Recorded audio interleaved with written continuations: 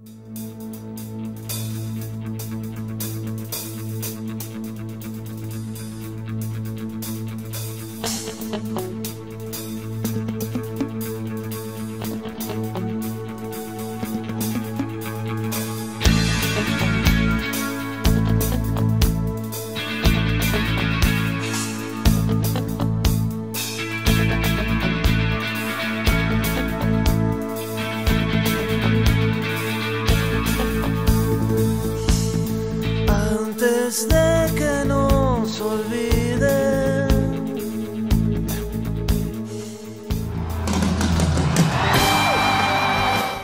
Hernández es uno de los músicos más emblemáticos en la historia de la música mexicana. Ha sido miembro y fundador de tres bandas que a su manera han hecho historia en el rock de nuestro país. Las insólitas imágenes de Aurora, Caifanes y Jaguares. Y es en las insólitas imágenes de Aurora donde se tiene el primer antecedente de Caifanes. En este grupo se conocerían Alfonso André, Saúl Hernández y Alejandro Markovich. Todo se remonta a 1984 cuando Carlos Markovich, un estudiante de cine, organiza una fiesta para juntar dinero para un proyecto de la escuela. Es el director del video y aparte fue el culpable de que estemos juntos. Es el que nos juntó por primera vez hace 10 años.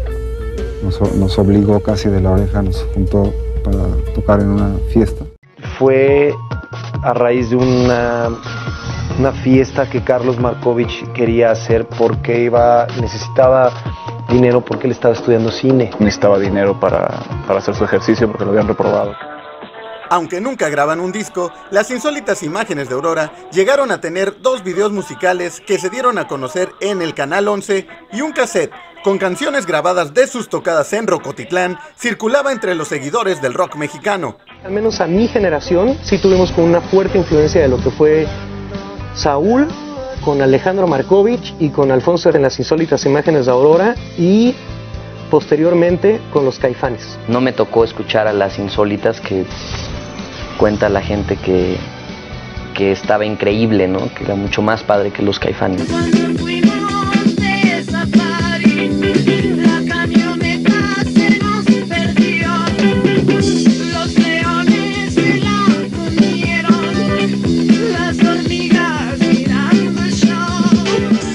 Insólitas también fue un momento muy, muy, muy, mucho más fuerte, ¿no? Porque ya, ya nos considerábamos como un grupo que tenía que ir a tocar y ganarse la vida, ¿no? ¿Y si se la ganaban? No, no tuvimos que buscar otros trabajos para, para poder sobrevivir. Y lo único que pudimos conseguir fue el equipo, ¿no? Los amplis y, los, y las guitarras y las baterías. Después de tres años de trabajo fue lo único que, que tuvimos. Tras tres años de este proyecto, Saúl decide dejar a las insólitas en 1986 con la idea de formar un nuevo grupo. Más bien eh, Saúl se desenamoró de las insólitas, empezó a tener muchos problemas con Alejandro. Entonces decidió este, salirse del grupo y hacer otro proyecto. En 1987, Saúl conocería a Diego Herrera y comenzaría su aventura de crear una nueva banda. Teníamos este, novias conocidas, entonces ahí en el, en el legendario 9, ahí en la zona rosa. Este, pues llegamos, yo llegué por mi lado con mi chava, él llegó con la suya y ellas empezaron a cotorrear y pues ya, oye, ¿qué onda? ¿Y tú qué onda? No sé qué, no sé cuánto. Pues quiero hacer esto. Entonces, este, juntamos las canicas, ¿no? Pues yo tengo un cinte, pues yo tengo una grava, pues yo tengo un micro, no sé qué. Pues entonces empezamos juntando el equipo y dijimos, pues vamos a hacer, pensábamos que en México no podíamos hacer nada, entonces empezamos a hacer rolas, eh, queriendo hacer un disco para irnos a España, ¿no? Había un cuate, el Pecas, que estaba también en mi en el proyecto. Entonces la idea era meter tres rolas de Saúl, tres rolas mías, tres rolas del Pecas. Hacer un disco. Apareció Juan Manuel Aceves, que es un cuate que después fue ingeniero de la banda durante mucho tiempo. Él grabó y mezcló La Negra Tomasa. Este, y nos consiguió tiempos muertos en un estudio. Entonces empezamos a hacer el disco. ¿no? Y la idea era, pues nada más estábamos nosotros tres. No estaba ahí Alfonso, no estaba Sabo. Saúl y Diego deciden invitar al bajista Sabo Romo y al baterista Juan Carlos Novelo para la grabación de su demo y así darle un sonido más sólido a su proyecto. Pues entramos al estudio, te estoy hablando de exactamente del 2 de enero de 1987. El caso es que Diego y Saúl estaban armando un proyecto que en ese momento no tenía nombre y a muchos no les va a gustar que lo diga, pero a mí me encanta decirlo, ¿no? Y entonces pensaron en que necesitaban al mejor. Lo primero que grabamos fue Máteme porque me muero. fue Será por eso, en una versión eh, tropical muy chistosa. Eh, grabamos Amanece en una versión eh, muy ochentera, muy chistosa también, que además estaba cantada por Santiago Ojeda, que era como el guitarrista oficial de ese, de ese proyecto. Y grabamos Nada, esas fueron las primeras cuatro canciones que grabamos. Las canciones estaban listas y el famoso demo llegó a manos de la locutora Fernanda Tapia, quien lo empieza a programar en la radio. No es que a mí me haya tocado así de wow, aquí se los presento. Tocábamos un demo de ellos, pero lo curioso fue que se tocó durante más de un año. No habían grabado un disco en forma en más de un año. Y un día veníamos, pues no sé de dónde veníamos, Saúl y yo en el, en el bocho este, y de repente empezamos a oír Mátenme en, la, en el radio, ¿me entiendes? Cosa que, pues, ¿de dónde? No sé cómo. Este, en ese momento el demo llegó ahí, pues, ¿no? Estiramos en la calle, sonó. Sí, me acuerdo que Diego y estábamos muy, muy, muy emocionados, muy, pero ex- exageradamente emocionados. Era como, no, esto no está pasando. Esto, esto, es, esto es un sueño, ¿no? Y después la volvemos a oír y la volvemos a oír y, y se volvió ya un, un sencillo. Tras varios meses de la grabación, el grupo no se volvió a ver hasta que Sabo Romo encontró el pretexto perfecto para juntarlos, tener una presentación en vivo en Rocotitlán. Entonces de ahí me fui caminando a casa de Saúl, que en esa época vivía cerca de Rocotitlán. Le dije, chato, este, pues ya tenemos una tocada. Me dijo, pues está súper chido, nada más que no tenemos banda, pues hay que hacer la banda. Oye, pero no tenemos canciones, pues hay que hacer canciones, ¿no? Y entonces de ahí le hablamos a Diego, le hablamos a Novelo, que se había ido de gira con Tania Libertad y que por supuesto ya no jaló acá el Juanca. Y entonces fue convocado Jorge Arce, el baterista de Ritmo Peligroso, para juntarnos a ensayar y para armar las rolas. El grupo estaba listo para su primer presentación, pero faltaba un elemento básico para la banda, algo que vendría a consolidar su imagen y personalidad. El nombre, Caifanes. Saúl dijo, oye, pues es que puta los caifanes, y entonces era la película de Juan Ibáñez, y era el Álvarez Félix, y era el Gómez Cruz, con todo respeto, y era Julisa, y eran un- unos personajes ahí con una película bien chida, y, y desde luego el caifán como personaje urbano, ¿no? Como personaje padrotín, con estos dichos de caifanes, de que el caifán es el que las puede todas, y demás, era como... Que la mueve en el barrio. Exactamente. Y además Caifanes me gustaba porque quería también acercarme a una cultura urbana. Y qué mejor nombre para una agrupación que de alguna otra forma estábamos como perros callejeros, ¿no? Porque así los fui encontrando. Cabe mencionar que la primera canción que tocamos el 11 de abril de 1987 en ese Rocotitlán abriéndole a Neón fue La Negra Tomás, que además fuimos presentados como la selección resto del mundo del rock mexicano. Sí, fueron no fueron presentados como caifanes ni nada. Selección resto del mundo del rock mexicano, los caifanes. Ok, entonces ya salimos todos pues como corresponde y lo primero que suena es La Negra Tomás.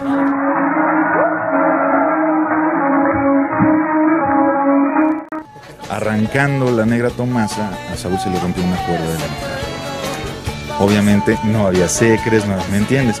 Y entonces lo que Saúl se mete y cambia la cuerda de la guitarra, pues nosotros, a ver, el lado derecho, estoy tan... El lado izquierdo, ahora las chavas, ahora los güeyes, ¿sabes? 20 minutos de Negra Tomasa fue lo primero que tocaron los caifanes en vivo. Cuando había un personaje ahí en primera fila, como que no daba más mucho crédito del asunto, que era Alfonso André. Eh, que yo me negaba rotundamente a que formara parte de la banda por el pasado que ellos tenían y ya se habían agarrado del chongo y lo que fuera. Y entonces yo como que no tenía muchas ganas de, de- de participar, pero cabe mencionar que en esa época Alfonso me parecía, bueno, de hecho me sigue pareciendo un baterista eh, muy talentoso, muy propositivo, eh, muy mamón. Con la entrada de Alfonso André a Caifanes, se consolida la alineación original de la banda y las disqueras comienzan a interesarse en grabar un disco del grupo.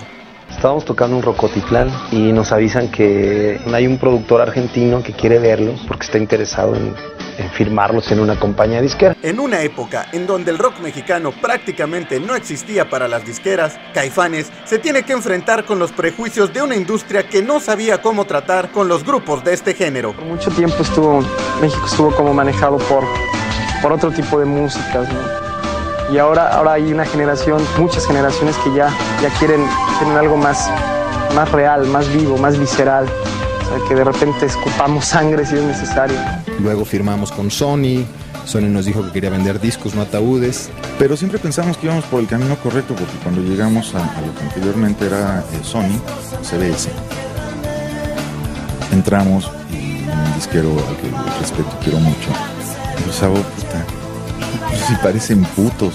Y entonces, claro, me volteo, me volteo con Saúl, me volteo con Saúl y digo, güey, estamos en lo correcto, está perfecto. ¿no? Todavía no había escuchado nada, pero ya la, la- la consigna era que parecíamos putos y que por ende, pues ahí ni firmaban putos, ni vendían ataúdes, vendían discos. ¿no? Caifanes consigue un contrato con la compañía disquera BMG y por fin graba su primer disco. Y de ahí este, hicimos el primer disco con Cachorro López. Es de Caifanes volumen 1. Exacto, donde está Mátenme, donde está Cuéntame, ¿no? Todas estas. Bueno, la Negra Tomás se incluyó después. La Negra Tomás se hizo como seis meses después. Era una rola que no queríamos incluir, no queríamos que se asociara con la banda. Hubo momentos donde sí nos, nos pidieron que si podíamos hacer otras tres negras Tomasas o, o continuar con, con lo que pasó con la negra Tomás. Y no, ahí el reto era, bueno, tenemos que sacar otro sencillo. Tras el éxito de su primer disco, la banda entra nuevamente al estudio a grabar Caifanes Volumen 2, mejor conocido como El Diablito, donde Saúl Hernández incorpora al guitarrista Alejandro Markovich como el quinto integrante de la banda. Cuando aparece Alejandro en la banda, contra mi voluntad, pero respetando yo el voto de la mayoría, que eran Saúl, Diego y Alfonso, que ellos sí querían, yo no. Dije, bueno, pues aprenderé a respetar, aprenderé a escuchar, aprenderé, tal vez algún día me gusta lo que toca, pues yo qué sé, ¿no? Creo que mi, mi aportación en ese momento al segundo disco de Caifanes fue muy contundente, ¿no? Como que se dio un sonido mucho más, pues más rockero, más agresivo, más completo. Creo que el grupo necesitaba eso y sobre todo relajar un poco la posición de guitarrista de Saúl, que no le venía muy bien esto de cantar y tener que cubrir el papel de guitarrista. Entonces fue muy bueno porque como que nos reencontramos nosotros tres, independientemente de los talentos de Saúl y Diego, que son extraordinarios, siempre tuvimos esta, esta cualidad de, ponernos a tocar y sin decirnos una palabra hacer magia, ¿no? Eso desde que empezamos con Insólita fue muy claro. Entonces, cuando me invitaron a retomar el camino y llevé mi equipo al ensayo donde ensayaban ellos y empecé a conocer el material que estaban preparando para el segundo disco, la magia se volvió a dar. Entonces como que para ellos fue muy obvio después de esa, de esa prueba de fuego de que la magia sigue ahí, vamos a volver a hacer cosas juntos. Y salimos con la célula que explota.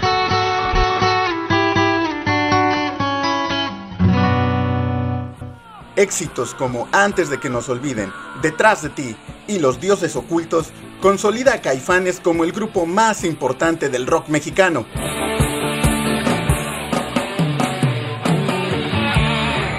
Comienzan a realizar giras por todo el país y Estados Unidos.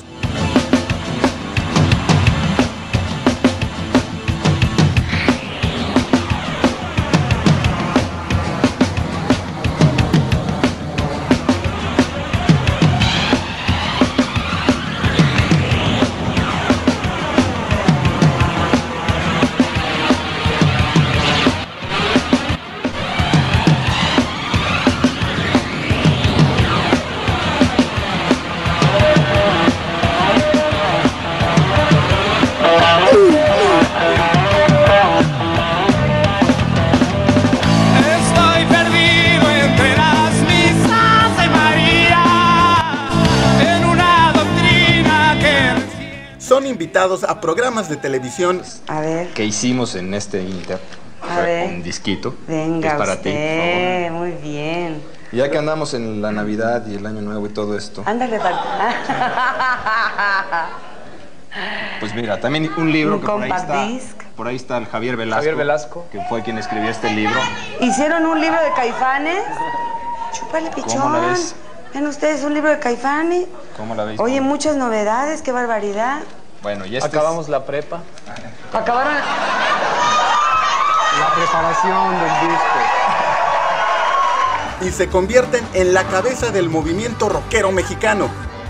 Es muy importante que es un grupo que es tan importante y que ha marcado así ya como otra otra etapa de la historia del rock en México. Bueno, para mí es un grupazazo, pero te digo, es más allá que una propuesta musical literal, que una imagen. Es gargantas que cantan, oídos que escuchan rock en México, rock en español, son miradas que están ahí pendientes de lo que se está haciendo en México y como ellos, cantidad de grupos, ¿no? Caifanes puede ser todo lo que quiera, más que Metallica y que Guns N' Roses. Los Caifanes no es, es parte de todo eso, no somos ni el número uno, ni somos el mejor, ni los creadores, simplemente en una carrera humana aprovechamos unas circunstancias que es una difusión y una promoción. Esta maldita vecindad, este, pues hay muchísimos grupos. Muchos grupos Tex-Tex, están buscando por Fobia, llegar a algún claro. lugar, ¿no? Pues más que algún lugar, ya crear una- un sonido de nosotros. ¿no? Caifanes no es el mejor grupo ni es el único. Somos parte de todo un movimiento que empezó este, Batis, que empezó Briseño, Ricardo Ochoa con el ritual, la revolución de Emiliano Zapata, el Tinta Blanca, este, el Peace and Love, el Árbol, todos los grupos que tocaron en Avándaro de alguna otra forma fueron los que empezaron a crear un movimiento de identidad como hablamos en Serra. Tras terminar la gira de promoción del Diablito, entran al estudio para grabar lo que es considerado como uno de los discos más importantes en la historia del rock y la música mexicana, El Silencio. Además lo hicimos con Adrian Belú, que es el, el lirero de King Crimson, ¿no? Este, y el cuate pues era así de que a las 8 de la noche pues, cerrábamos o 7 de la noche, ya no me acuerdo, se acababa la grabacha y nos vemos mañana a las 10 de la mañana. Entonces pues no teníamos mucho que hacer. Ahí sí estuvimos clavadísimos, súper, o sea, la idea de él era que estuviéramos como muy concentrados en lo que era el disco, ¿no? Entonces, este, tú fue una súper experiencia, muy buena onda con el, con el Adrián. Y este, y sí, yo creo que sí, el, el- vaya, a nivel de, pues, no sé cómo decirlo, como conjuntar la esencia de la banda, ¿no? Y poder como poner lo mejor de nosotros ahí. La canción Nubes fue lanzada como el primer sencillo del disco y rápidamente llegó al número uno en todas las listas de popularidad.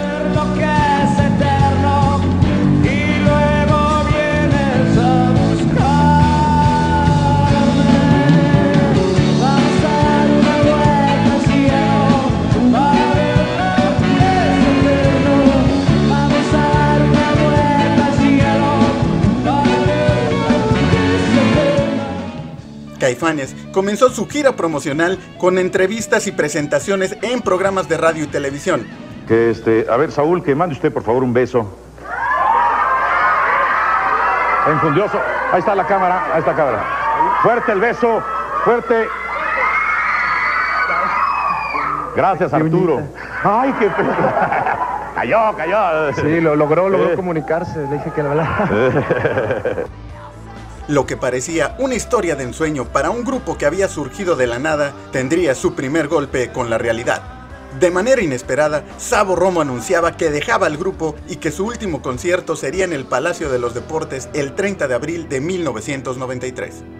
Desgraciadamente empiezan como, como a suscitarse muchos problemas en el núcleo de Caifanes, que eran problemas que tres de ellos, por lo menos Alejandro, Alfonso y Saúl, ya conocían de la banda que habían tenido anteriormente y que se había acabado más o menos por los mismos motivos que se acabó la siguiente banda que tuvieron, que tuvieron juntos. Pues imagínate, fue un matrimonio colectivo de, de seis años prácticamente, ¿no? Y bueno, me da la, la- la, digamos, el- la tristeza lógica de, de- de que no vamos a estar juntos más, pero bueno, lo compensa por un lado que es mi decisión y por otro lado de que, bueno, somos grandes amigos. ¿no? Yo decido que me voy de la banda, ojo, no cuando la banda está en decadencia, me voy en el clímax de la. ¿Por qué? Porque lo que seguía era dar un salto al abismo que simple y sencillamente yo no quise. Y Sabo de repente brincó y dijo, ¿sabes qué? Yo ya no puedo más.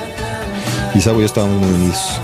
Entonces, este, pues dije, pues órale, maestro del brazo, ¿no?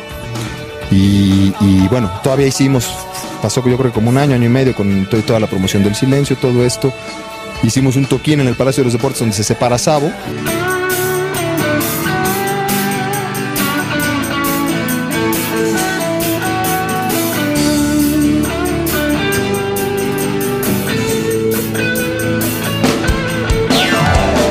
Opinas de que Sabo sale del grupo Caifanes? Qué mala onda, porque creo que es de los pilares del grupo.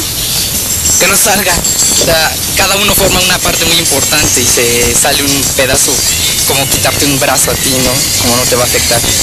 Malos momentos, pues. Pues no. No, malos momentos. Tal vez una vez que le agarré la, la carita a Saúl y le dije, güey, te callas o te parto tu madre. ¿Por qué? Porque llegué tarde a un aeropuerto, porque mi papá se había puesto mal y entonces todo el mundo empezó con que "Ah, qué colgado, güey, y no sé qué. Y dije, no, esto es así, soy colgado, pero me entiendes, yo no voy a dejar de. Perdón, no voy a dejar de ir a tocar, ni voy a dejar de hacer lo que tengo que hacer por esto. Simplemente pues, tuve una emergencia y la tuve que atender. Y entonces a la hora que empieza de, de- de- del estar como jodiendo a la ironía, me prendí y sujeté la carita de Saúl y le dije, güey, cállate, tu madre". ¿Me entiendes? Y entonces fue una tensión ahí a nivel aeropuerto Fuerte. no, pues, terrible, ¿no? Ya en el avión, ya obviamente, pues bueno, yo podía fumar en el avión y tu tequilitas. Exacto, ya echadas unos quiebres en el avión y pues bueno, ya se solucionó todo. Y por supuesto no pasó nada, fue como, fue como un, un, un- un Unos cinco minutos, fueron cinco minutos. Yo venía alterado y él se alteró y se acabó, ¿no? Pero bueno, incluso no me parece ni siquiera un mal momento, me parece un momento que, que, que afortunadamente fortaleció un montón de cosas, ¿no? Yo todavía hice una gira en Estados Unidos con ellos, con Stuart Ham, otro bajero.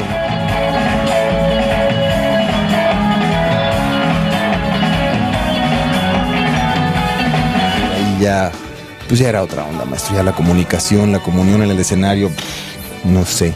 Y este cuate, pues muy buen bajista, pero iba como por otro lado los tiros, ¿me entiendes? Ya no había esa fuerza así como de los cinco aventando una energía perrísima hacia la gente, ¿no? Y este, y ya terminando esa gira, todavía teníamos otra gira por eh, Sudamérica hacia. Y yo dije, no, ya, ya no me la rifé. ¿Por qué? ¿Qué pasaba?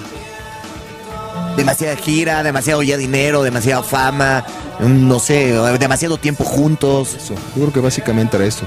Yo pasaba más tiempo con ellos que con mi esposa. Y bueno, fue muy triste, ¿no? Cuando salieron Sabo y Diego porque aportaban un montón de talento y nos quedamos misteriosamente otra vez los tres que de alguna manera habíamos iniciado, pero en realidad Insólitas y Caifanes fueron grupos muy diferentes en su concepción, en su estilo, su manera de trabajar y todo. Pero bueno, de todas maneras, por alguna razón este trayecto nos volvió a juntar en esa célula creativa que resultó ser otra vez explosiva.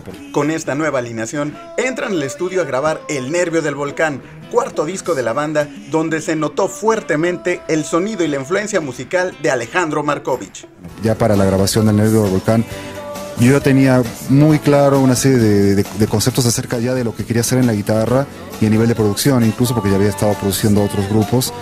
Entonces, el Nervio del Volcán para mí como guitarrista fue un disco muy importante porque como que fue la culminación de toda esa etapa de, búsqueda de un sonido personal, de una sintaxis en la guitarra, de una serie de amalgamas que venía buscando yo de música romántica, folclórica, mexicana, latinoamericana, con el rock y todo eso, así como creo que ahí lo pude plasmar muy, muy claramente. En afuera es una canción donde tiene una influencia completamente un mundo occidental, la canción, y a la mitad te envuelve en una ceremonia latinoamericana, donde, hay percusiones, donde hay unas melodías de andinas, donde hay ritmos aztecas, donde realmente pudimos como que vomitar muchas cosas.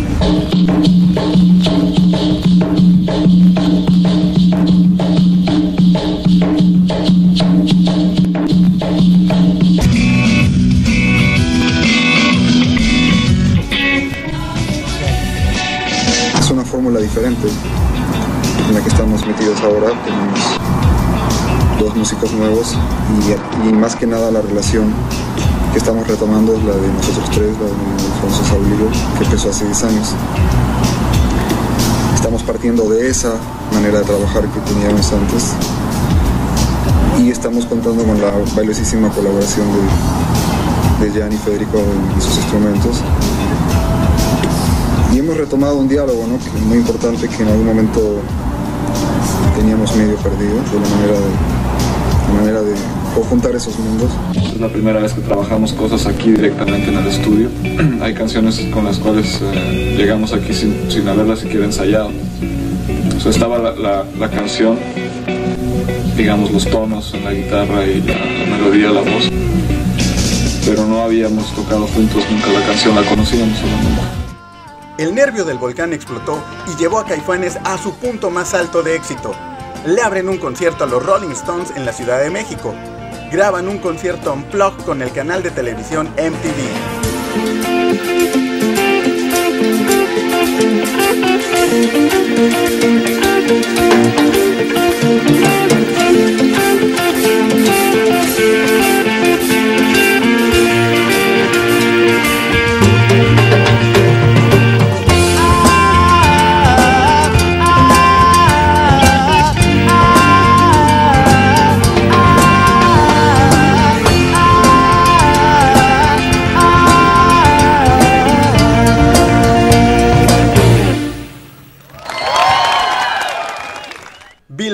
Designa El Nervio del Volcán como el mejor álbum de rock de 1994.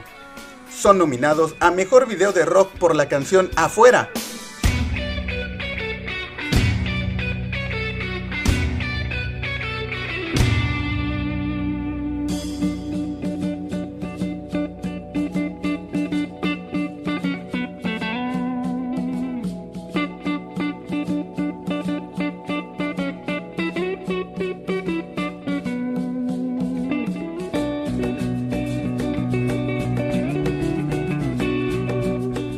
Récords de ventas en México y América Latina. Sin embargo, al interior del grupo, los problemas que habían ocasionado la salida de Sabo y Diego seguían creciendo y se comenzaban a notar en la relación de Alejandro y Saúl. Accidentes ha habido muchos en la historia del grupo y, pruebas ha habido más todavía. Y sin embargo aquí estamos. Entonces creo que, que los que nos podemos hacer daño somos nosotros nada más. A 11 años de estar juntos, ¿qué tienen en común todavía entre ustedes? El esqueleto, la cantidad de cromosomas. ¿Qué ves cuando me ves? Lo mismo que tú. Es que nos caigamos bien, ni tratemos de rebuscar actitudes para mantener el negocio bien. De repente quizás cuando estamos realmente juntos hay una honestidad muy visceral. Todavía con fechas por cumplir en la gira del Nervio del Volcán, Saúl Hernández emitió un comunicado a los medios de comunicación donde daba a conocer que rompía de manera definitiva cualquier relación de índole laboral, artística y personal con Alejandro Markovich. La relación con Alejandro empezó a deteriorarse otra vez. Eh, nunca fue la mejor, ¿no? nunca tuvimos al final una relación estable. Era una relación profesional. Pero, pero bueno, estábamos bien. Podíamos trabajar y, nos- y salimos a comer juntos, no pasaba nada. Y, y empieza a haber una situación de, de, pues de- como de presión. en ese- Tensión. Mucha tensión. Sí. Viene el nuevo disco, eh, eh, se, se graba, eh, Nervio del Volcán, bajo tensiones ya, ¿no? Tensiones fuertes en el estudio inclusive, golpes, ¿no? En el estudio, sí. Este, yo lo admito, yo estaba ya muy alterado y en un momento eh, Alejandro me sacó de las casillas y le dio un bofetón, ¿no? Así, en el estudio. como si fuera muy relevante que Saúl le diera una cachetada a Alejandro en el estudio. Bueno, yo estuve a punto de matarlo en más de una ocasión. Y hasta ahí nomás. A Alejandro. Sí. Y básicamente no lo hice porque pues, no me gusta golpear costales. Punto y se acabó. Yo digo, si no te vas a defender, pues no, como para qué, ¿no? En el mismo comunicado, Saúl informaba que el último concierto de Caifanes sería el 18 de agosto de 1995 en San Luis Potosí. El concierto fue histórico y en torno a él existen muchas leyendas urbanas. hacer historia el concierto, pues dicen que es el último, a ver qué onda. bueno que se deshagan, ya que mejor que quede la leyenda. Saúl tomó el micrófono y lanzó un mensaje que resumía lo que pasaba en Caifanes. Esta canción habla de, de cómo nos podemos hacer mierda los unos a los otros. Y fue Carlos Markovich, el mismo que los había juntado por primera vez para formar un grupo 11 años atrás, quien subió al escenario para darle el último adiós a Caifanes. Caifanes, se acabó. Tras el concierto en San Luis Potosí, comenzaron a surgir los rumores, las teorías de conspiración de lo que había pasado en Caifanes. El silencio mediático de Saúl Hernández dio pie a una serie de rumores y leyendas urbanas respecto al futuro de Caifanes, aunado a las declaraciones de Alejandro, donde él aseguraba que nunca se había salido del grupo. Ok, mi versión. Punto número uno, yo jamás eh, he dicho que me quiero salir de Caifanes. ¿Por qué no lo he dicho? Porque jamás he pensado salirme de Caifanes.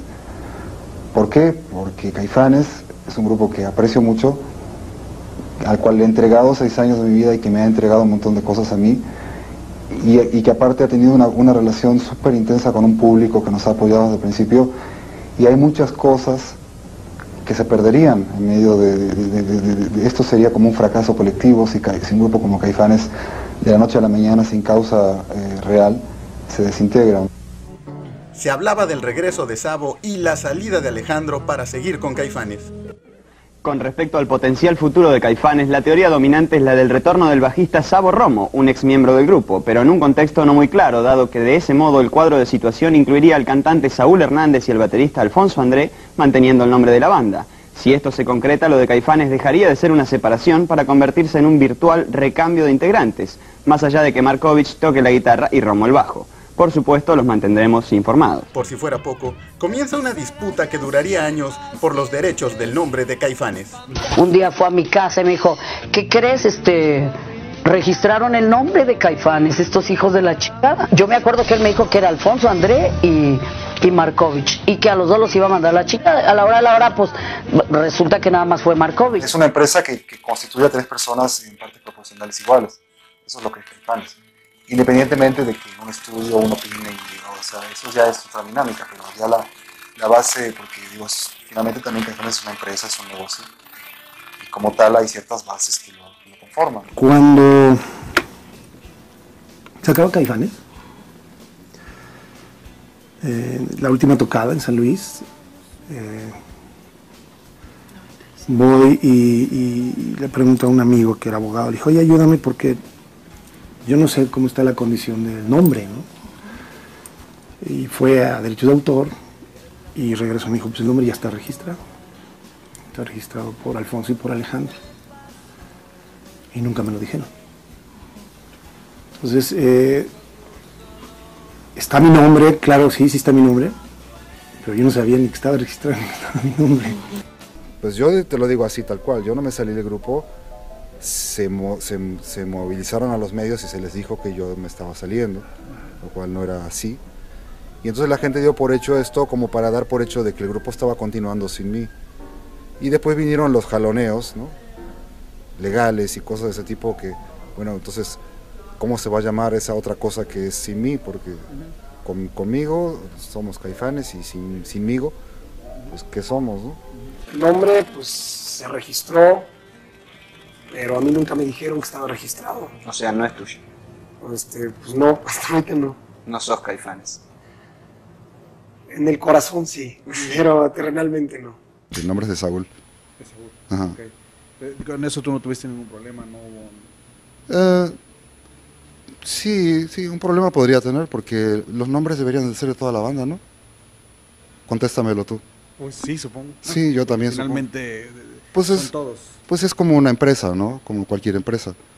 Si tiene, si, si cinco personas o diez o veinte fundan una empresa, pues se crean acciones y las acciones son el patrimonio, ¿no? Conforme crece la empresa, pues tus acciones crecen. Entonces en este caso está como raro. Yo nunca registré el nombre Caifanes. Eh, en ese momento, mi primer emoción pues, es la derrota, salir. Sí, sí, sí. Yo me siento derrotado, me siento Traicionado. traicionado, utilizado y, y con, la, con, las, con muy pocas ganas de, de pelear. O sea, no, no tenía fuerzas. Y comprendí algo muy, muy padre, fíjate. Comprendí que a veces la retirada es más digna que estar peleando sin razón. Y eso fue lo que hice. Eh, en ese momento, pues, la compañía, todos, ¿qué va a pasar? Dije, yo no voy a pelear. Yo ya perdí. Ya me chingaron, pues, como, como Sí, se dice. Y lo acepto. Por tonto, por generoso, por, por lo que tú quieras. Pero ya. No, no. Pasó lo que pasó. Y no entro en esa dinámica. Dije, ya cierro este capítulo y empiezo otro grupo. En ese momento la compañía me pide, bueno, nosotros, pues, por la cuestión de los discos, etcétera, etcétera, pues danos los derechos. Vente ¿no? para acá, sí. Dame los derechos y nosotros, pues sí, vamos a, a ver qué se puede recuperar, etcétera, etcétera. Yo cedo mis derechos, hagan lo que quieran, yo no, yo no quiero saber nada de esto. La disquera fue la que se apropió del nombre de Caifanes, que pertenecía a Alfonso Saúl y Alejandro. A mí me parece un atropello, Javier. Es decir, ¿cómo, cómo es posible que una disquera se quede con, con tu patrimonio, con tu nombre artístico? no somos una marca, ¿no? O sea, somos músicos y, y el nombre no importa. El nombre, es, el nombre a fin de cuentas lo tiene la gente, ¿no? porque ellos lo hicieron. Uno lo pone, pero ellos hacen que exista de esa forma. Esto es pues, normal, ¿no? Así son los grupos. Los grupos tiene una identidad compartida. Eh, Y, y al final, bueno, pues no hubo reconciliación posible y fue cuando decidieron, supuestamente, que esto es una cuestión de marketing, seguir con Caifanes pero con otro nombre. Y eso pues a mí me da así como un poco de risa, ¿no? Porque es como, yo también podría entonces seguir con Caifanes pero con otro nombre. O sea, yo, yo también soy Caifanes, ¿no? O sea, tú eres Caifanes pero yo también. Todavía con el recuerdo de los caifanes muy fresco en el público, Saúl inicia un nuevo grupo llamado Jaguares, incorporando a Federico Funk en el bajo, a José Manuel Aguilera en la guitarra y a su viejo amigo Alfonso André en la batería. Con esta alineación lanzan el disco El Equilibrio, pero la gira se tiene que ver interrumpida por un problema de Saúl en la garganta, quien estaba perdiendo la voz. Lo oímos, ¿no? De repente se quedaba sin, sin voz, se quedaba totalmente afónico. Yo lo veía cantar en el estudio, nos tocó estar en la sesión, pero yo decía, wow, no hay voz, no hay mucha voz. Pero él no quería parar, ¿no? Quería seguir y seguir, seguir. O sea, el ver a un cuate que lo que ha hecho toda su vida es cantar y que de repente no lo podía hacer. Pues de plano le dijimos en un momento dado que ya que se olvidara que existía el grupo, ¿no? Que se dedicara en cuerpo y alma a, curarse. Llegas y tocas y luego te sales en camiseta con una chava y una cerveza en la mano y un tequila en la otra. No te cuidas. Estuve dos años y medio, 39 operaciones. Eh, un año y medio sin poder hablar. Tuve un encuentro conmigo mismo. Muy, creo que supe ver en qué camino podía retomar esa circunstancia y sacarle lo mejor. Saúl recupera la voz y Jaguares vuelve a tocar. Por este proyecto pasan diferentes músicos, ya que es concebido como un taller musical. la vida así como En los 12 años de existencia de Jaguares, siempre existió la pregunta, ¿algún día habrá un reencuentro de Caifanes? Digo, y- ay sí, pues yo como aquí ando, pues lo voy a decir, este, Caifanes, ahorita que están todos y que yo los veo y digo, me siento como muy emocionado en estos momentos, ¿habrá en algún futuro cercano algún, algún plan de hacer algo de nueva cuenta? Pues aquí está. Ah, no Aquí, sean lo- aquí- pendejos ya, chinga. aquí las estás viendo. Sí, aquí estamos juntos ya, mira, los cuatro. Vivimos en el mismo país. Eso, eso está, eso está muy saludable. ¿Pero algún día en algún escenario se dará? Pues, no sé, mira, nosotros tenemos muy claro que cuando nos sentamos a, a- a trabajar en Caifanes fue por una necesidad, por mucho amor, por mucho cariño. Y si en dado caso nos trepamos a un escenario va a ser por lo mismo, ¿no? No va a ser ni por cantidades exorbitantes de dinero, que bueno, nunca viene mal. No, cómo no. Pero, ¿Cómo no? pero creo que la, la base eh, más importante es querer hacerlo, ¿no? Que, que nos nazca como en ese momento nació hacerlo. Y en ese sentido somos, seguimos siendo muy honestos todos los que estamos aquí sentados en ese sentido. Entonces, pues ya el tiempo dirá, ¿no? Ahorita estamos muy clavados con Jaguares, está eh, yendo muy bien, gracias a Dios. Hay mucho por, por, por qué hacer en el futuro. Entonces, pues, en una de esas ahí nos vamos a palomear ahí en, tu casa, nos armamos el equipo. Exactamente. y ya. Sí, en casa de Alfonso, pues, a huevo. Que sí, es que este es un momento histórico. No, pues hermano, Tengo imagínate. 11 años tocando con ellos. Es la primera vez que, que estoy con los caifanes. Desde el 88, 89. Pues este que desaparece. Pues, nosotros aquí andamos, pero este es el que desaparece. Insisto, mis chivos andamos. necesitan comer, mis, mis gallinitas Los hay que alimentarlas los todas, y los también, por supuesto. Ya, ya, pues bueno, ya lo checaron. Jaguares, Jaguares aquí en entrevista, en exclusiva para Telehit en el video Latino 2009. Muchísimas gracias, grande entre los Por, grandes. por esta ocasión, los caifaguares. Los caifaguares. Bien, bien, me gusta, me gusta ya. Y de perdida ya está el Kai. Bien, muy bien, qué bonito es ¿Cuándo lo vas a bonito. tocar, Sabo, con nosotros hoy? A ver. ¿Qué? ¿Cómo? Este, Los ra- rayó, raya- rayó. rayando el sol. Tal parece que al destino también le interesaba un reencuentro de Caifanes, ya que ocurre en una serie de acontecimientos cercanos a la muerte con algunos de los integrantes. Sabo Romo sufre un infarto que lo hace llegar hasta terapia intensiva y que le pudo costar la vida. Eh, casualmente ensayando esta, este gran éxito de Rostros Ocultos, El Último Adiós, de pronto empecé a sentir ahí que algo estaba pasando extraño y efectivamente me dio un infarto agudo al miocardio, que gracias a la prontitud de mi ángel de la guardia del Liceo Reina, que además es mi manager, amigo y demás, y de todo el personal solidario de acá de Guadalajara, pues bueno, las cosas llegaron a muy buen término, me practicaron lo que se tiene que practicar en estos casos, que es un, un cateterismo para desbloquear una arteria que estaba debidamente eh, tapada por un coágulo. Y se acabó el problema, realmente pasé unas cuatro o cinco horas espantosas, quisiera decir lo mismo del personal que estaba alrededor, pero no, han pasado como cuatro días espantosos. Y pues yo acá la neta es que estoy muy consentido, muy a gusto y desde luego muy agradecido con toda la con toda la banda tapatía, con los Maná, con los Violeta, con los Rostros Ocultos, con Sintec, con Saúl, con con Benny, con pues, con toda la banda que ha estado como muy pendiente de todo este asunto y desde luego pues con mi familia, con mis hermanos. Al poco tiempo, Saúl Hernández sufre un accidente en carretera. El vocalista de Caifanes, Saúl Hernández, sufrió heridas al perder el control de su camioneta cuando viajaba en una carretera federal rumbo a la cabecera municipal de Solidaridad. De acuerdo al reporte de la policía, él estaba manejando a alta velocidad y al desinflarse un neumático del vehículo, este terminó volcándose. El cantante, que desde ya vive hace varios años en Playa del Carmen con su familia y allí precisamente tiene un bar, conducía su camioneta Land Rover cuando fue trasladado al hospital de Playa del Carmen, pero no fue necesario internarlo debido a que los golpes y las heridas que sufrió fueron leves. Pero el susto que pasó fue tremendo. Por si fuera poco, le detectan un tumor en el cerebro a Alejandro Markovich, quien tiene que someterse a una delicada cirugía. Diego Herrera le hace saber esta noticia a Saúl Hernández, quien decide ponerse en contacto con Alejandro. Yo estaba en Ámsterdam con, con- con Julia y, y me escribe Diego un correo y me dice, este, van a operar a Alejandro de un tumor en el cerebro, este, por si quieres saberlo, ¿no? Yo no sabía nada de Alejandro, nada, nada. No sabía ni dónde vivía, ni nada. Y me impacta el correo, ¿no? Sí, claro. Y en ese momento, en esos segundos, eh, lo primero que me vino a la mente es pues, eh, desearle lo mejor, ¿no? Punto. Yo le escribo a Diego, oye Diego, pues este, yo no sé, no tengo contacto con Alejandro y con Gabriela, no sé ni qué onda, pero pues mándales este correo para que hácelos llegar. Un correo muy sencillo, Alejandro, este, te va a ir muy bien, te deseo lo mejor, aquí estoy, este, mucha luz, suerte, todo va a estar padre, bababá, te vas a las mejores deseos. ¿no? Ya, pasó. Lo operan, afortunadamente salió todo muy bien. Sí, sí, sí. Y este. Y, y luego ya me- nos empezamos a conectar y me dice, oye, pues yo quiero hablar contigo. Me dice Alejandro, quiero darte las gracias. Este, y me quiero sentar a, a platicar contigo como un hombre, ¿no?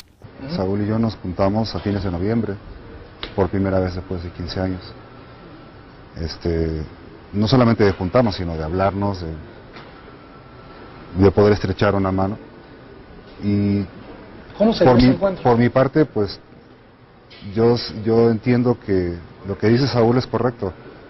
Los caminos de la vida te van llevando, ¿no? En ese momento nos llevó a una ruptura que no entendimos en su momento. Después cada quien siguió sus caminos. Y en el momento que yo caí enfermo y fui intervenido quirúrgicamente de una operación muy, muy seria, Un de- tumor. de- un tumor de- en el cerebro, este, pues esto a mí me movió, por supuesto, el tapete y yo siento que también ahí se dio como la oportunidad de que nos acercáramos ya a nivel, a nivel espiritual, a nivel de corazón, porque eh, tú, tú puedes seguir instalado en, en esa ruptura el resto de tu vida, ¿no?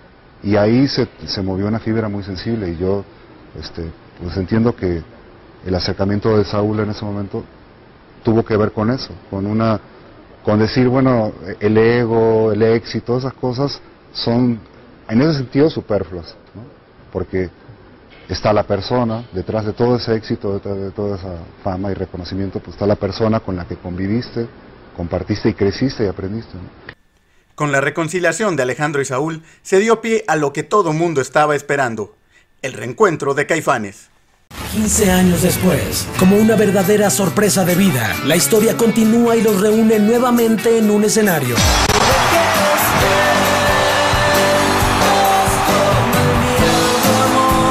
La energía de los cinco juntos otra vez fue muy especial, ¿no? La pasión tiene memoria, aún con estas adversidades, de ir creciendo en el camino y en el camino encontrar diferencias, aciertos distancias, este público generoso nunca dejó que Caifanes se fuera. Pudimos lograr, lograr ese, ese cierre que, que, necesitábamos. Yo les decía, yo no me quiero morir antes de, este, de poder tocar juntos otra vez. Tras el rotundo éxito de la presentación del grupo en el Vive Latino, se anuncia una gira por todo el país y Estados Unidos y se habla de la posibilidad de hacer un nuevo disco.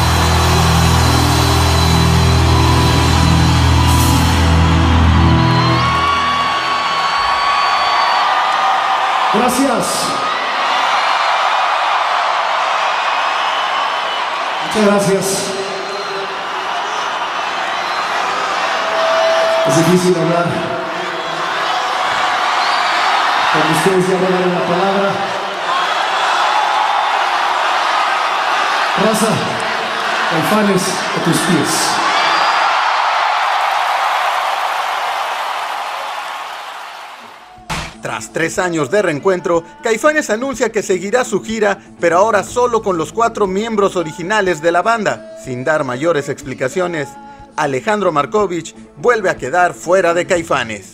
Pues tuvimos diferencias que no pudimos amarrar y bueno, pues seguimos en la siguiente etapa. Pero, pero ahora estas diferencias sí fueron de todo el grupo, ¿no? O sea... Pues sí, sí, este, no nos entendimos, pues, esa es básicamente la onda. Y fue como un acuerdo entonces, ¿no? Porque tampoco ha visto una respuesta. No queremos armar mucho desmadre al respecto, creo que es lo que sucedió y pues ahí estamos. La nueva salida de Alejandro del grupo genera que el conflicto con Saúl reviva y Markovich publica un libro donde da a conocer su versión y algunos oscuros pasajes en la historia de Caifanes. Este es un libro acerca de mí, es un libro escrito con mucho respeto a la historia. ¿no? Las cosas que tienen que ver conmigo, que si yo era un niño así o porque tú sabes, ya lo leíste. Sí, sí, sí. Pues hay cosas que son de, apreciativas, ¿no? Yo me sentía así, o me pareció ver tal cosa, o que, ¿no? Pero lo que tiene que ver con, con carrera, hay, eh, una cosa es eso y otra cosa son hechos históricos. Así es. ¿no? Yo no soy periodista, pero sí sé lo que es hablar de hechos históricos en blanco y negro. E, esto pasó, aquel dijo esto, ¿no? Es lamentable que le den tanta importancia a algo que no tiene la mayor relevancia, básicamente porque el, Caifanes en conjunto era cuarteto y era quinteto, y aquí se les olvida a los protagonistas de este pleito de Lilos que nosotros somos parte de ello también. Y entonces yo, claro, podría venir y decir unas cosas que ustedes no tienen la menor idea, pero yo soy un caballero. Y la neta es que en lugar de perder el tiempo en pelear, pues prefiero perderlo en hacer música, ¿no? ¿No? Porque tú sabes que este asunto de, a ver, las canciones son un patrimonio. Los derechos de autor. Los derechos de autor. que la gente no sabe de estas cosas. Es fuerte. O sea, el hecho de que yo haya hecho arreglos monumentales para afuera y otras canciones de Saúl, no me da a mí un patrimonio. Se lo da a los hijos y a los nietos de Saúl. ¿Por qué? Porque la canción dice Saúl Hernández pero la, la, canción como venía cuando él la compuso, pues era una, un esqueletito ahí con... Y no, y no lo estoy demeritando, él dijo por ahí que yo, que yo digo que es un inepto. Alejandro piensa que soy un inepto en la música, está bien, son sus comentarios, eso no me preocupa. Pero no cruce un umbral de, de, agresión y de, y de falsos, eh, falsos personajes, ¿no? Que ni mis compañeros tampoco. ¿no? Yo digo que es un excelente compositor. Bueno, lo hablamos en su momento. Y como dice él, con una gran intuición. Pero mis fantasías musicales son las que también le dieron vida a esas intuiciones para que llegaran a ser éxitos comerciales. Cuando arrancamos con este reencuentro de Caifanes en 2011, creo que el primer paso importante, no sé quién lo decidió realmente, pero creo que no necesito números de dos dedos de frente para saberlo, Y entonces deciden que van Alejandro y Saúl con nuestro querido Carlos Loret de Mol a hablar de su reencuentro. Y entonces yo me preguntaba ingenuamente, ¿Y? bueno, está muy bien. ¿Y dónde está nues- nuestro reencuentro de Caifanes? Yo creo que ahí se, me, se, se- como que se utilizó esta situación de dos personajes para crear toda una mitología. ¿no? Creo que cada uno de nosotros aportaba algo increíble, increíble. No nada más Alejandro y yo. No, eso, es, eso sí quiero aclarar. ¿no? Creo que en el grupo eh, lo que aporta Sabo es Sabo, lo que aporta Diego es Diego, lo que aporta Alfonso, lo que aporto yo soy yo y Alejandro, etcétera. Pero pues eh, quizá por una relación anterior con las insólitas, y por ahí quizá había una, una- un, un camino paralelo, ¿no? Que se empieza como a, como a crecer, ¿no? Y pues las broncas que, que, pues siempre había. Yo había estado con Alejandro la víspera de su cirugía y hablamos. Yo no tenía nada que perdonarle, ni a él ni a nadie, pero al final hablamos, pero siempre me quedé con esta sensación de que lo único que a él le interesaba, tal cual, que pues, seguramente aquí está más que bien plasmado, pues era estar bien con Saúl, ¿no? Un tanto como en esta relación obrero-patronal, ¿sabes? De decir, bueno, pues con el jefe hay que estar a toda madre y con los subalternos pues no importa porque pues da lo mismo, ¿no? Es decir, da lo mismo lo que opine Diego, lo que opine Alfonso, lo que opine Sabo, porque aquí finalmente nada más los chicharrones de Saúl truenan. Y pues caso error, porque podría parecer de esa forma, pero no es así. Por lo menos en ese momento, estamos hablando del 2011. No, no, líder no. Yo siempre acepté que Saúl tenía lo suyo. Lo aceptaste, ¿verdad? Sí. Sí, ahí también lo explico, lo que pasó en el Nervio del Volcán, que hicimos incluso un trato de caballeros. A ver, ok, son tus canciones. Nece- necesito una compensación económica por esto, porque creo que la merezco. Explico las mecánicas incluso que se dan en los grupos, a nivel ya no creativo, sino económico. La gente no entiende estas cosas porque no tiene por qué entender. En esta última etapa eh, hubo una situación personal de Alejandro que, bueno, se, se manejó muy raro. eh, yo creo que él entró en una paranoia eh, y, y- pensó cosas. A mí la última vez que habló por teléfono conmigo eh, en esta situación, que, que yo no soy nadie para abordar ese tema, es cuestión de Alejandro nada más. Pero me hablan y dicen, oye, ¿qué está pasando? ¿Me van a correr del grupo? Por, porque una cuestión legal de un contrato, no sé cuántas cosas. Y le dije, no, Alejandro, pues ¿qué te pasa? no? Te- Estás alucinando otra vez, tranquilo, ¿no? Ojalá ya haya grabado esa conversación, graba todo. Y este, dije, no, no, es que los abogados no me hacen caso. Y digo, me quiero sentar contigo. Y dije, mira, yo me siento contigo a hacer música. Y tú y yo nos sentamos a hacer lo que tenemos y teníamos que haber hecho. Déjalos a, los abogados, que lo resuelvan. Tú y yo y, y Sabo y Diego y todos vamos a hacer lo que nos corresponde y Alfonso. ¿no? Este, pero yo no me siento con uno solo. Nos sentamos todos o no se sienta nadie, ¿no? Ya uno va aprendiendo también. Sí, claro. En la vida. Y bueno, finalmente eh, se, se presentó una dinámica que a todos nos recordó otra vez esos- esas tensiones, esos conflictos, esos distanciamientos, eh, una cosa que la verdad yo no lo entiendo, ¿no? Ya, no, no entiendo. A ver, Y bueno, platicando entre todos, Sí. se decidió regresar a la formación original por sanidad. No, yo sí fui víctima, pero de una manera flagrante. O sea, pa- a ver, tú me preguntabas al principio, ¿no? ¿Cuál es el... el- hay un motivo así como... El objetivo del libro. No, el, el objetivo es, eh, vaya, en su, en su 80% es hablar de mi vida, que tú dices, bueno, sí, está bien, cuando eras niño, sí, pero a ver, lo importante es esto. De alguna manera. Eh, pero, eh, a ver. O sea, si eres víctima de. Sí, sí fui sí víctima. fuiste víctima Sí de fui víctima. Saúl. ¿Sabes por qué? Porque yo durante mi estancia en Caifanes no hice otra cosa más que dar lo mejor de mí y el público de Caifanes me amaba.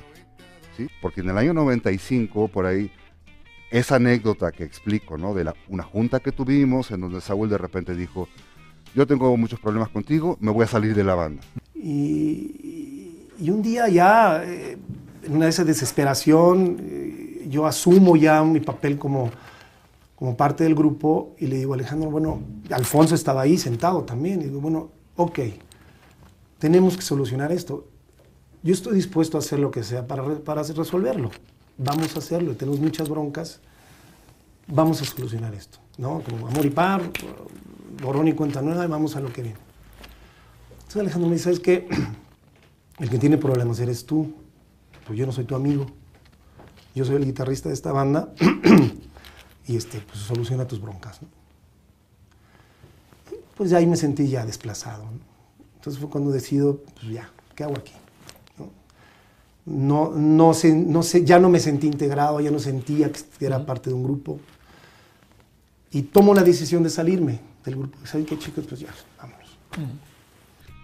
Y ahí empezamos con que tú, que tú, y al final me dijo, no, el que se sale de la banda eres tú. Y yo, bueno, pues eso tiene, eso tiene consecuencias incluso económicas, y esa junta no acabó en nada. Días después me entero por MTV Latino que yo estoy fuera de la banda. La contratapa del nervio del volcán parece un presagio de lo que el destino deparaba para Caifanes. Saúl Hernández y Alfonso André abrazados y cerca, pero no tanto, el guitarrista Alejandro Markovich. En medio de versiones contradictorias, el futuro de Caifanes es una incógnita. El guitarrista Alejandro Markovich también sostuvo que cuando Diego Herrera y Sabo Romo dejaron la banda hubo un consenso grupal que en este momento no existe. Por su parte, Saúl Hernández emitió el jueves un comunicado de prensa en que expresó su decisión de romper toda relación laboral, artística y personal con Alejandro Markovich. Eh, sale un comentario de que Alejandro es el que ya no está en el grupo, ¿no? Sí, lo recuerdo. que, que fue de esos tropezones y errores que se van dando, que van creando una bola de nieve impresionante, ¿no? Pero bueno, el daño ya estaba, o sea, la, la distancia ya estaba, ¿no? Eso es un atropello a mi dignidad, a mis derechos morales, económicos y demás. Y así fue. Acabé, acabé saliendo de la banda y acabé incluso con un juicio con la compañía en donde se me quitaron todos mis derechos. Y creo que mi, mi, mi, mi gran pecado que yo he tenido con Alejandro es alejarme de él. Pues ya es la tercera vez. Con Insólitas, esta vez con Caifanes y ya esta última, ¿no? Porque con o sin Alejandro somos los caifanes. Y pésele a quien le pese, pues antes de que llegara Alejandro a la banda éramos una banda exitosísima. Porque al día de hoy, ninguno tiene un problema con Alejandro. Eso es lo más curioso de todo.